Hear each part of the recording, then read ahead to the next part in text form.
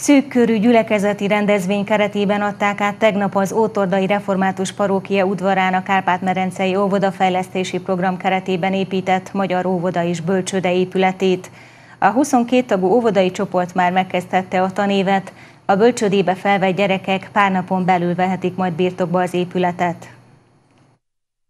A fogasra felakasztott kiskabátok, cipők és személyes holmik árulkodnak arról, hogy kisóvodások birtokba vették az új épületet, és elkezdték a 2020-2021-es tanév első napját.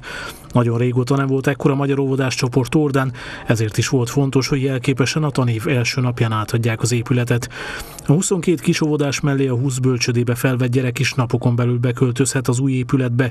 A Jósika Miklós elméleti liceum alárendeltségébe tartozó óvoda és bölcsöde megépítését a helyi református lelkipár pásztor az elejétől kezdve felkarolta, és helyet biztosított az épületnek a parókia kertjében. Méltóbb helyre nem kerülhetett volna ez az óvoda, hiszen ha több mint száz évvel ezelőtt itt rózsák nevekedtek ebben a kertben, most a kis rózsaszálak indulhatnak el az élet útjukon ebből az intézményből, először bölcsödéből, aztán óvodából.